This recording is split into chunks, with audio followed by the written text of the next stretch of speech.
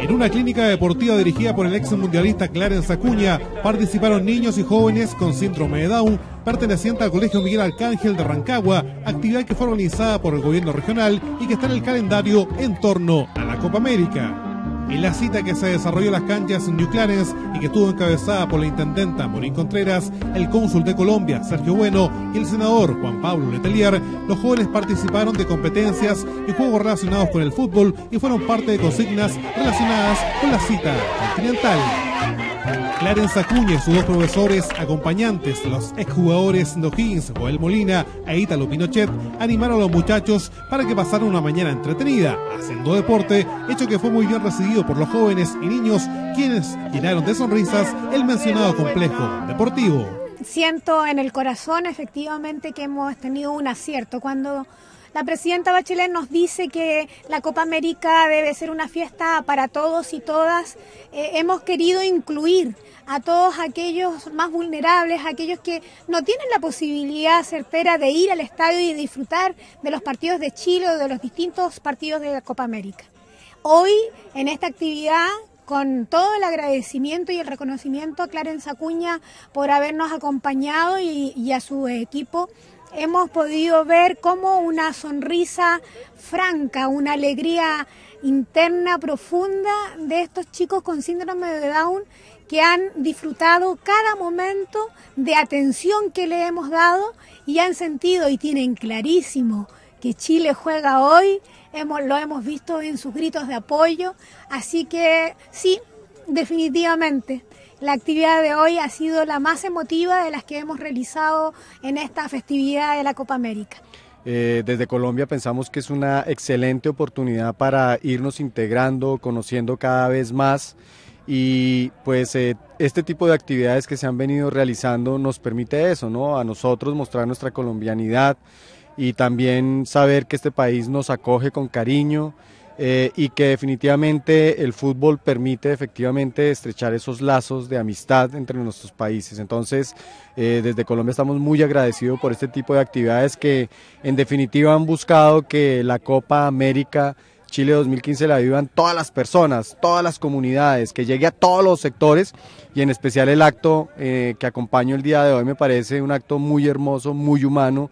Eso es ponerle sentido humano, rostro humano al deporte, eh, por lo cual de verdad que muchas gracias por esta invitación tan especial que va a quedar grabado en mi corazón y en, y en nuestra memoria.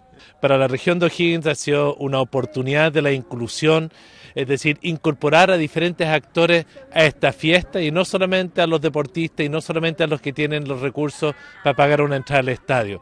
Ayer o anteayer con personas que están privadas de libertad, hoy con niños en esta cancha de Rancagua, niños que tienen habilidades especiales y que los incluimos.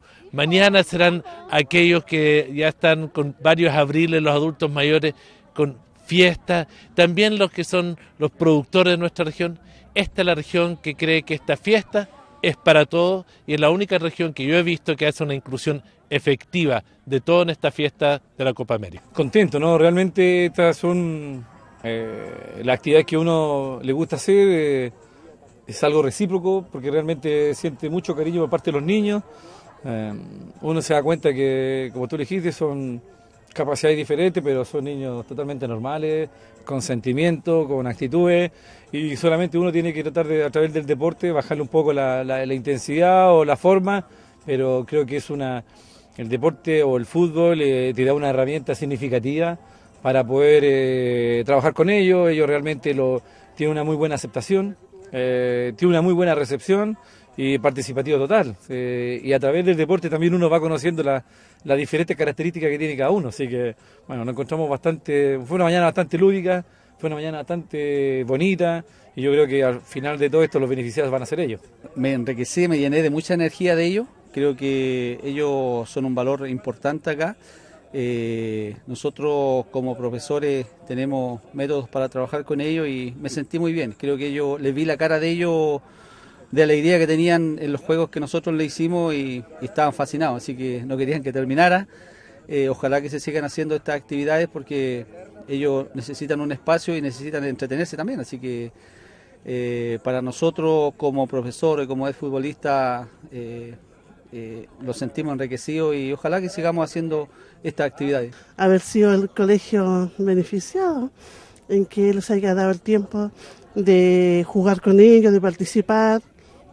Genial. Para nosotros es sumamente importante la inclusión, o sea que aparte de la inclusión laboral es importante esta inclusión en que las autoridades consideran a, los niños con capacidades diferentes y los integran en los eventos que ellos hacen. Para nosotros eternamente agradecido de lo que está haciendo la señora intendenta y, los Ceremi que corresponden. Sí que están contentos hoy día, ¿no? Muy contentos, muy feliz y ojalá nos sigan haciendo participar porque somos eternos agradecidos por estos niños tan maravillosos que cada día nos hacen feliz y tanto que nos entregan.